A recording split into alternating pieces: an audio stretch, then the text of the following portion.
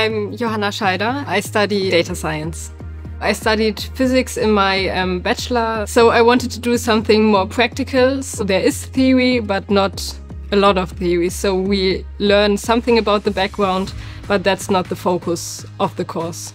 You don't really need much uh, to apply. You just need a few credits in math and a few credits in informatics, but it's not really important how you get them. You have a pre-course where you learn a little bit of Python programming. Everything else is shown in the courses.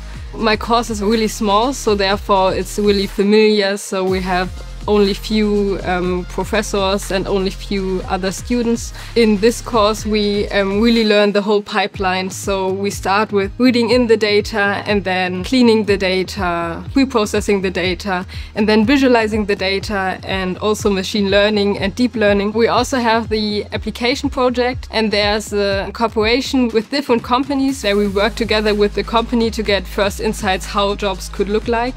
I would recommend for everyone to apply to the study if you are interested in data and informatics in general. You really do something that you will do in your job afterwards. Everyone creates data, and if you analyze this data, it can create a really huge impact for the company you work for.